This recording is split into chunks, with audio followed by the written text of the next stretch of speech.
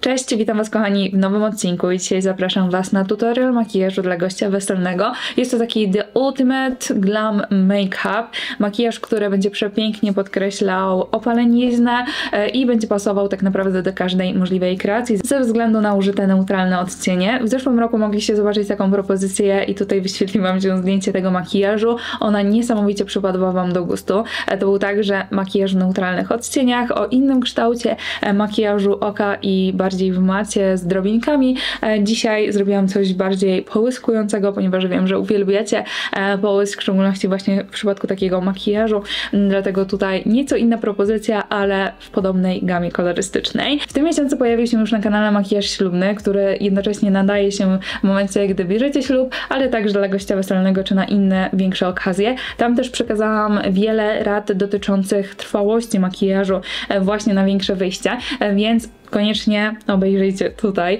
e, ten filmik. I też na kanale ostatnio pojawił się filmik z propozycjami sukienek na wesele z sieciówki, e, także jeśli jeszcze nie macie kreacji na większe wyjście, które Wam się zbliża e, w tym roku, to zerknijcie na te propozycje, ponieważ może wpadnie Wam tam coś w oko. Szykowanie się na większe wyjście to nie tylko makijaż, ale także zapach. I tutaj razem z marką Made in Lab pokażę Wam moje propozycje takiego idealnego zapachu właśnie na wieczorowe wyjście. Osobiście jako fanka delikatniejszych zapachów na co dzień, jeśli chodzi o te wieczorowe, e, to wybieram zazwyczaj z kategorii tych orientalno-kwiatowych. E, Taki zapach, który będzie, wiecie, już z takim pazurem, będzie niósł ze sobą woń, ale jednocześnie dalej nie będzie dla mnie przytłaczający. I zapach, po który najchętniej sięgnęłabym właśnie na większe wyjście, to numer 50 z Made in Lab, e, który jest połączeniem tych lekkich nut kwiatowych.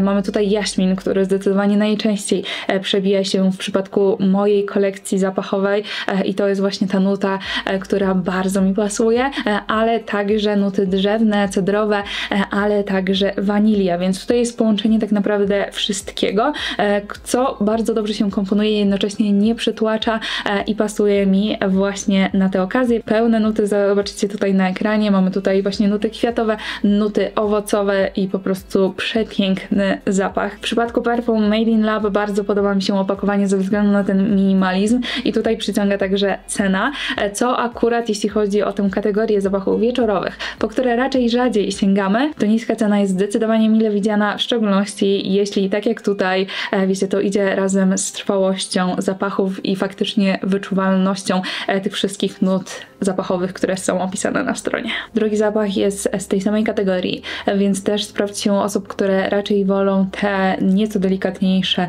nuty zapachowe i jest to numer 138 i tutaj faktycznie taką nutą, która najbardziej się wyłania naprzód to jest orchidea.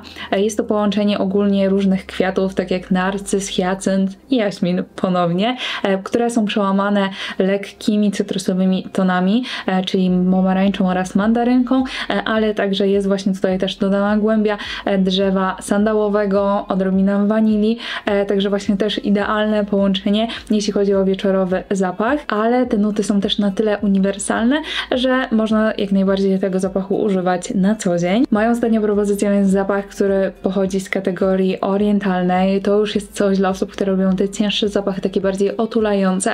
E, Przeważa tutaj zdecydowanie nuta wanilii. Jest to raczej taki właśnie mocniejszy e, zapach, który jest lekko przełamany tymi delikatniejszymi nutami typu jaśmin, e, kwiat pomarańczy. Jakby widzicie tutaj dobrze, że te nuty się powtarzają w przypadku tych trzech zapachów, mimo że każdy z nich jest totalnie inny, ale jednak jestem taka konsekwentna, jeśli chodzi o moje wybory. E, Z tego, co się okazuje, nie zawsze zwracałam na to uwagę, ale teraz faktycznie mówiąc Wam o tych zapachach, e, to faktycznie widzę tutaj połączenie właśnie między nimi. To jest właśnie coś zdecydowanie dla osób, które e, już lubią właśnie te mocniejsze zapachy.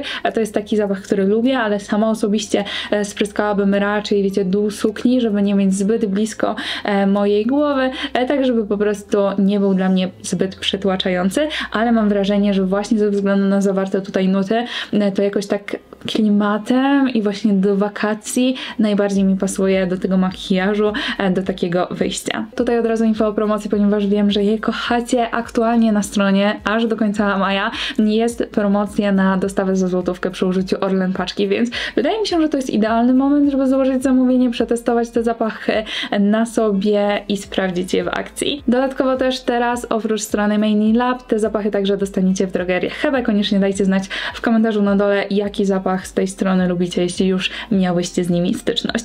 Ja już nie przedłużam dalej, tylko przechodzimy do tutorialu. Pielęgnację oczywiście nałożyłam wcześniej na skórę, już całkowicie się wchłonęła.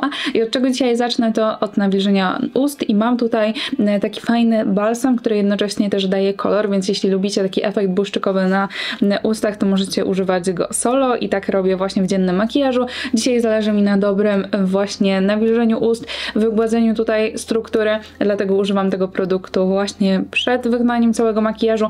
Jest to produkt marki Nude Sticks, Nude Skin, czyli dokładnie Lip Butter i ja mam tutaj odcień Candy Kiss, który daje taki lekko koralowy tint na ustach. Dzisiaj użyję odrobinę bazy. Będzie to ta z Fenty Beauty, jest to Pro Filter Primer, która dodatkowo mi skórę nawilży, wygłazi i też wypełni tutaj lekko rozszerzone pory. Podkład, jaki dzisiaj nałożę, to All Hours marki YSL jest to produkt, który przepięknie kryje, daje efekt, wiecie, nieskazitelnej skóry przy tym długotrwałym efekcie i jednocześnie jest to produkt, który mam wrażenie, że sprawdzi się każdemu e, typowi skóry, ze względu na to, że on nie jest tak silnie matujący, więc dzięki temu sprawdzi się u które mają suchą i normalną skórę, ale jednocześnie też jest trwały e, i nie powoduje przetłuszczenia się w ciągu dnia, więc sprawdzi się także do cery tłustych. Mam tutaj odcień MW9, który jest minimalnie dla mnie za ciemny, dlatego dodam troszeczkę białego miksera i oczywiście zaaplikuję ten podkład zwierzęłą gąbeczką. W tym momencie także rozświetlę tutaj dekolt oraz ramiona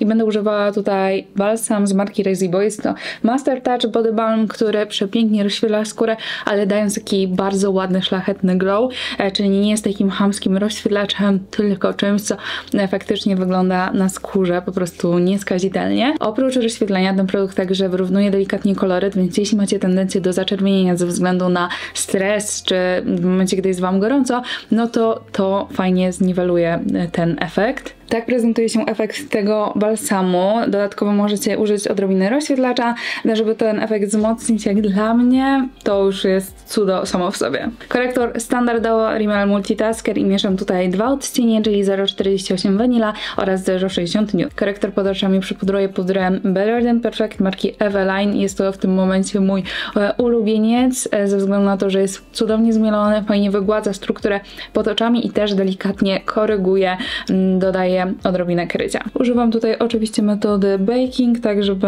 cieszyć się długotrwałym efektem a całą twarz przypudruję sypkim pudrem marki Wet n White Photo Focus. Jest to bardzo fajny puder, który dobrze utrwala makijaż, jednocześnie nie wysuszając skóry. Ładnie, naturalnie wygląda, właśnie zostawiając e, wykończenie bardzo zbliżone do tego, które mamy już na twarzy z podkładu, czyli e, nie zabiera tego nawilżenia, ewentualnego rozświetlenia w momencie używania właśnie tego typu e, podkładów. Do konturowania oczywiście użyję mojego ulubionego bronzera z marki Affect w odcieniu Brazil, który ma nuty ciepła w sobie, lekko oliwkowo ciepłe, które cudownie stawiają się z moim typem skóry. Tutaj oczywiście zaczynam od podkreślenia policzków, ale także delikatnie muskam zarówno boki czoła, jak i także delikatnie nos.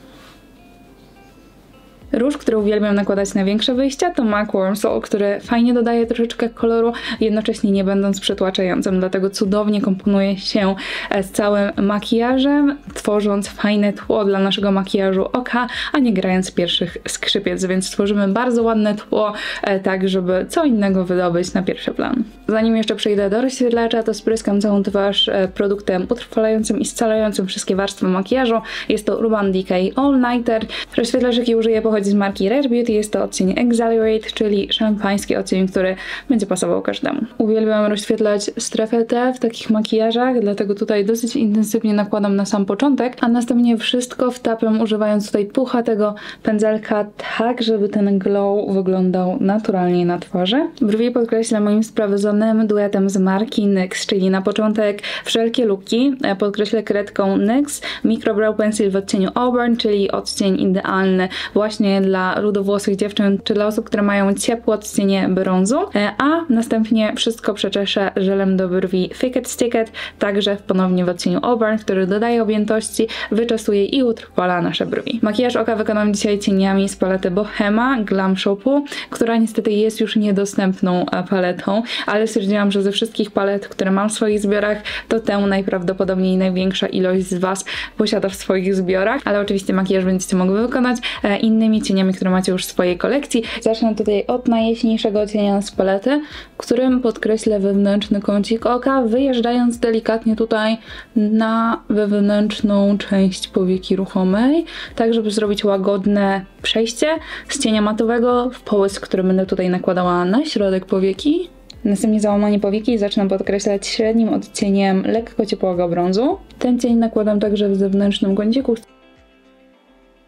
Następnie tym jasnym odcieniem brązu w chłodnym odcieniu musnę tutaj załamanie powieki powyżej tego brązu, które nakładałam przed chwilą, tak żeby tutaj to przejście było idealne, jak musicie zobaczyć od razu jakby sam sobie ten cień ładnie się rozdarł, ale chcemy dodać tutaj jeszcze nieco więcej koloru. Musnę jeszcze tutaj tym ciepłym odcieniem, tak żeby całość po prostu lepiej stopiła się tutaj z moją karnacją. Zanim nałożę połysk na powiekę, to najpierw użyję glitter primera z NYXa, e, tak żeby po prostu wyciągnąć jak najwięcej z tego cienia e, i żeby mocno odbijał światło. Bazę wklepuję po prostu palcem tutaj w miejsce, gdzie chcę nałożyć połyskujący cień. I cień, który nałożę to ten tutaj, czyli taki złoto-różowy połysk, który jest z tych gładkich, które pięknie rozświetlają, ale nie dają, wiecie, takiego łuskowatego efektu jak w przypadku turbopigmentów, ale tam te cienie też będą super pasować.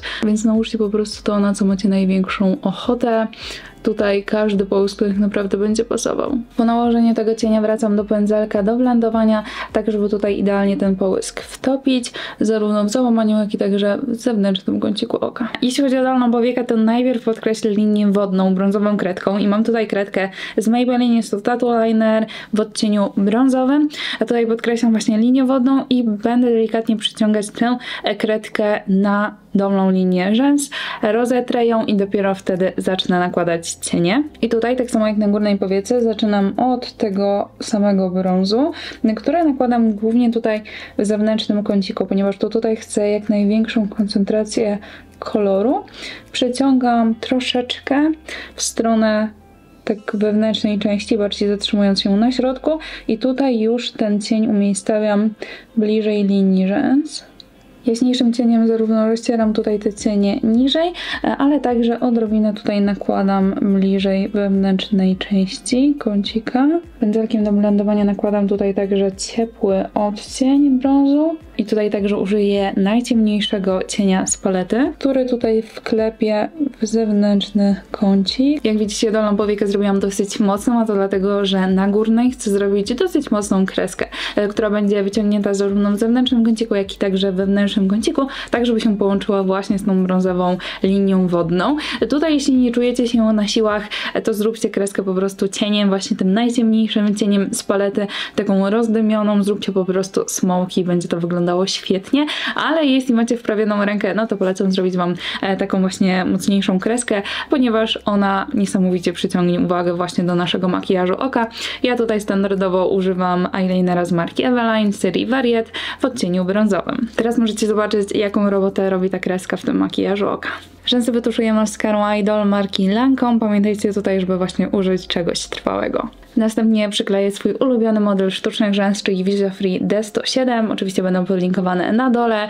E, tak jak wspominałam Wam e, w filmiku z makijażem ślubnym, jeśli macie ochotę na coś, co ładnie podkreśli oko, ale jednocześnie będzie delikatniejszy niż e, właśnie te rzęsy, których używam, spróbujcie z modelem Demi Wispy marki Ardell, ale nie z tej standardowej kolekcji, tylko z kolekcji Foamings, ponieważ one faktycznie wyglądają zdecydowanie lepiej i same rzęsy prezentują się tak samo jak w przypadku przedłużania naturalnego naturalnego rzęsy, więc to będzie fajny model, ponieważ te rzęsy dopełnią idealnie ten makijaż oka, ale jeśli nie jesteście przyzwyczajone do sztucznych rzęs, to spróbujcie albo z połówkami, żeby tylko podkreślić zewnętrzny kącik oka, albo z kępkami, ponieważ on fajnie dopełnią ten makijaż a teraz przed i po ze sztucznymi rzęsami. Zostały nam już tylko usta i do takiego makijażu moim zdaniem pasują najbardziej usta nude z nieco ciemniejszą konturówką. To jest fajny sposób na to, żeby po prostu dopasować lepiej właśnie cieliste usta do naszej karnacji. E, tutaj wybierajcie po prostu odcienie, które najbardziej Wam pasują. Możecie użyć nieco ciemniejszych kolorów, pójść nieco bardziej w taki, wiecie, beżo brąz niż, e, wiecie, w taki bardzo jasny nude, w zależności w czym się czujecie lepiej. W moim przypadku przypadku na początek sięgnę po konturówkę z Eveline serii to jest numer 01. Piękny odcień takiego właśnie już beżo-brązu, a szminka, którą użyję dzisiaj to NYX Smoothie w odcieniu Pancake Stacks. Kochani, tak prezentuje się skończony makijaż. Mam nadzieję, że moja propozycja przypadła Wam do gustu e, i że miło spędziliście ze mną czas. Dziękuję za oglądanie i do zobaczenia w kolejnym odcinku. Pa, pa!